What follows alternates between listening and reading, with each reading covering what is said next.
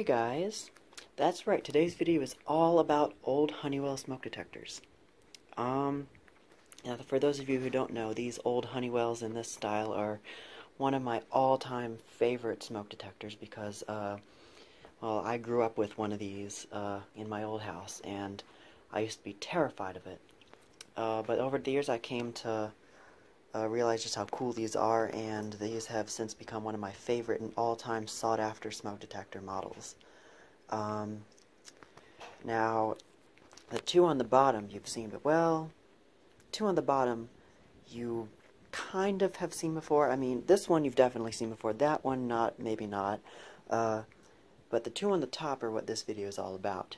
Um, so this one here is the one, the very first smoke detector I ever collected. This is the one that came out of my old house. Uh, used to be up at the, the hallway, up at the top of the stairs on the ceiling above the staircase. And this is the detector that I think um, sparked my interest in vintage smoke alarms. Um, so yeah, um, this is a TC89B, another one that I have. I'd mentioned that I have uh, two of these now, and I had three of them. But I have uh, I only have two of them now. This is uh, one of my contractor, or sorry, retail models. Um, these two up here are new. You have not seen these before. I just got these today.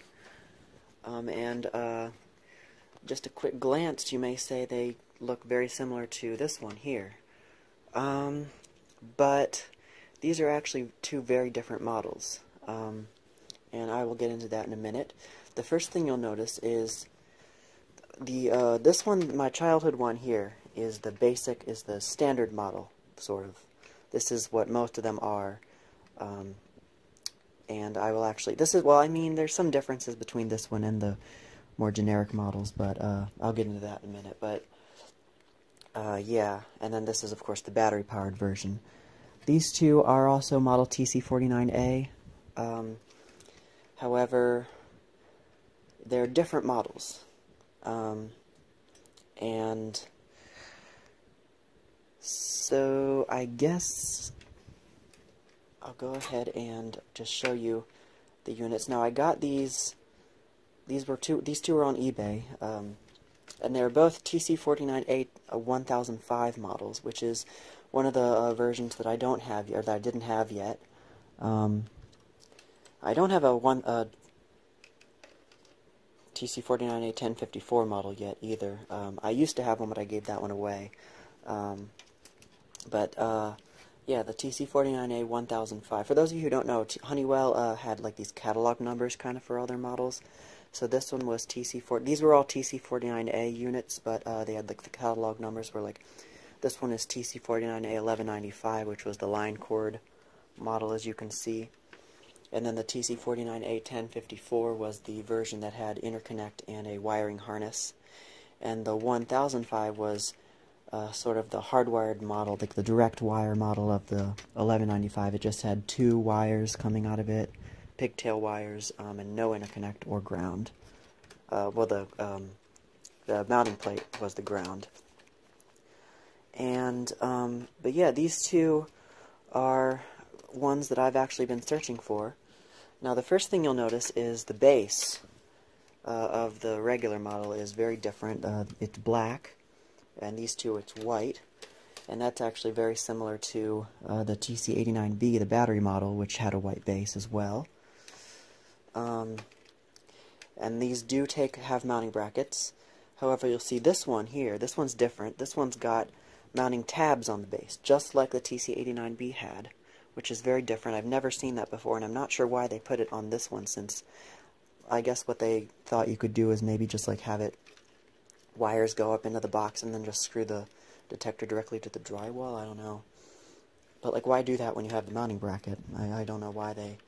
I guess they were just... I think what they did is they were just reusing parts from the TC89B production. Or maybe it was some kind of factory mix-up. I don't know. But I'm going to keep this one over on this side actually, because this is technically number one, or the first one that I had posted about. Uh, so let's go ahead and open up these two units.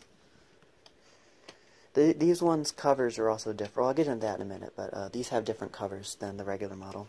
Turn this one over as well. And I'm not going to be powering these up in this video. I'm going to make a separate video testing both of these. Um, so I'll try not to get too ahead of myself because I'm just so excited for these detectors. Um, but anyway, the first one on the left here is probably the most unusual one. Um, if I open up the regular model, my childhood version, um, you can see it looks kind of similar to uh, that one. Um, but I think one thing you'll notice is that the sensor is different. This one's sensor is smaller. It's got bigger holes than that one. That one's sensor is bigger.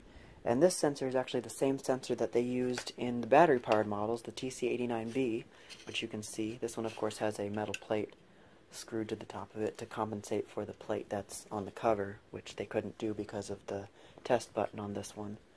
But, uh, yeah, so this has the TC89B sensor, and you can even see that it has the hole for the test button right there. Uh, these do not have test buttons, as we all know. These uh, use smoke to test them. Uh, but it has the hole for the test button right there, so I guess you could does this one sensor? Yeah, this one sensor does unplug from here. Uh, if you take these two screws out, you can actually like unplug the sensor. There's three little contact tabs in there. So I'm wondering if I could like take this sensor out and put this one in, and then I'd have a test button. That would be pretty interesting. Of course, I don't know how I'd push it, and you can't put this cover on it because it doesn't have the cover interlock. But anyway, you'll also notice that this one's uh, circuitry cover there is different. This one has a metal circuitry cover which is, uh, I, I don't think I've seen that before. I, I don't know. Um, but it's, it's a metal aluminum uh, cover as opposed to the regular cardboard that these normally had, and even the 89B has. Um, so that leads me to believe that this one is probably a slightly earlier model. This one is dated 1977 on the side there. As you can see, 7725. Um, the uh, transformer in this one is different. It's plastic, or it's not not plastic, but it's got a plastic housing over it, which is interesting. As you can see, normally this is what we're used to seeing. It's just a regular bare-bodied transformer there with the UL label on it. This one's got a plastic housing with the UL label on it. And no labels are molded into the plastic. Uh, so that's just pretty weird. The horn in this one is an Edwards horn, which is just like the one that's in my childhood one also has an Edwards horn. However, this one's label is different. This one is labeled TC49A ionization or TC49 ionization detector model 2. So this one is known, I guess, as TC49 model 2. But if you look on the side of the circuitry cover here where the other label is the model information and the voltage and everything, it says TC49A 1005. So I'm guessing that this is essentially just an earlier version of the TC49A, uh, which is weird because why would it say TC49A 1005 on there and just TC49 on there? I really don't know, so this is probably just some earlier version. However, you know the date code on this one is 77. The date code on this one is also 77. So this one was probably made not too long after this one was. Um, of course, that's just a guess. I, I don't know. If anybody that works at Honeywell or worked at Honeywell at the time these were made and is watching this video wants to correct me, feel free to do it. I'm always open to being corrected. Um, anything else about this one? Um, this one has the cover interlock. It's the regular metal tab that pushes down onto a dab solder. Later ones uh, of the one uh, the 1054 model had a closed-bodied plastic switch and a little metal tab that uh, pushed it down. Uh, but like it's the same one as that one, and that one, and that one. So this one here, this one here is another one, the other one, TC49A 1005, as you can see. This one actually is labeled TC49A on the horn. And this one has the regular larger sensor that uh, these always had, and the regular transformer, and the cardboard circuitry cover. Um, but the weird thing about this one is it has a delta alarm horn. And I have never seen a delta alarm horn in one of these. I can say that I've never seen a delta alarm horn in one of these. Um, I have seen Edwards horns in these, obviously, as you can see. I've seen that weird Kobishi delta alarm hybrid, um, that that uh, 1054 model that I used to have. uh, had that kind of horn. The uh, the Cassette Masters has that horn, the weird hybrid one. Uh, but this one has a delta alarm, and I've never seen a delta alarm horn being used in these. And up until now, I thought that they didn't use delta alarm at all. But I guess I was wrong. Um, and there you can see the delta alarm label kind of peeking out behind the sticker. So yeah, that's just weird. Uh, um, trying to think if there's anything else. Oh yeah, the uh, sensitivity adjustment well, these both have the sensitivity adjustments that these always had as well. It's just a knob that you turn. Um, and then mine has that as well, but the knob on mine is broken. Um, the sensitivity adjustment on the old one uh, actually has 0.5% uh, to 2.3% uh, stamped into the metal on there. Kind of like on the 89B where they had a switch that said 0.7 to 2.8%, like that. This one doesn't have that. This one is identical to mine, or to my childhood one. Uh, but, yeah. It's kind of hard to turn. Um, this one's easier to turn. You can't turn it very far, actually. Yeah. The knob wasn't a very good design. The switch is a much better design, in my opinion, on the 89B. But anyway, yeah, so uh, let's take a look at the covers. So here are the covers. It's the regular design that uh, Honeywell used for these with the, the sort of tapered design with the uh, four large side vents, three rows of round holes that uh, encircle a center badge that says Honeywell to silence remove cover, and of course we all know that on the TC89B, the battery model, that center part was a test button, but on these that was just a label and you can only use smoke to test these. The interesting thing about these covers is that they have the little tab on the side where the LED is. That's something I've seen on these before, but very rarely. I've mostly seen this, where there's just no tab and it's just a little divot there for the LED. Um, uh, but however, I've never seen a Honeywell TC89B that doesn't have that tab there. Um, so I just thought that was interesting. This one also has it as well. Um, the inside of the cover, as you can see, it has that plate, and there's the tab that pushes down on the cover interlock switch. However, on mine, there's another little tab right there uh, that it goes on the other side of the transformer. I always thought it was to keep the cord, the line cord down. But these, both of them, only have the one tab to push the uh, cover interlock. They don't have that other tab that goes on the other side of the transformer. I thought that was interesting as well. Um, so, the labels, this one's label's been all kind of torn up and scratched up and you can barely read it. You actually can't even read it anymore.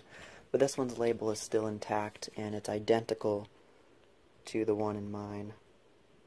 I actually didn't even see if the revision label, it's 97-155, 97-1554 I think.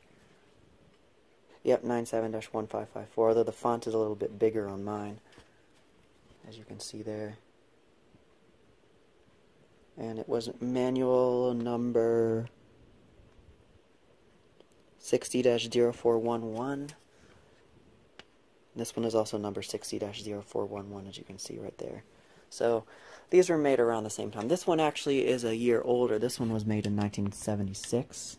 Um, so, I just realized that kind of screws up my timeline because now I don't know when this one was made and why it has that sensor. So, uh, who knows what they did, really. It's all just a mess. Um, so yeah, go ahead and put the covers back on. These ones' covers are harder to get on for some reason. Which shouldn't be because they only have one tab to worry about. So, um, yeah, this is just a quick overview, well not so quick, but just an overview video of these two unique detector models. Uh, very happy to have these. Um, I've been after some of the more obscure models of Honeywell TC49As recently, and all I think I need now is the black base 1005, the 1054, and the one that had the square cover. Like there is a version that had this exact same base, but it had a square cover with square holes and it looked kind of like a doorbell chime, actually. So I'm still after that one, but I'm very glad to have these. So testing will hopefully come soon. And thank you for watching, and more to come.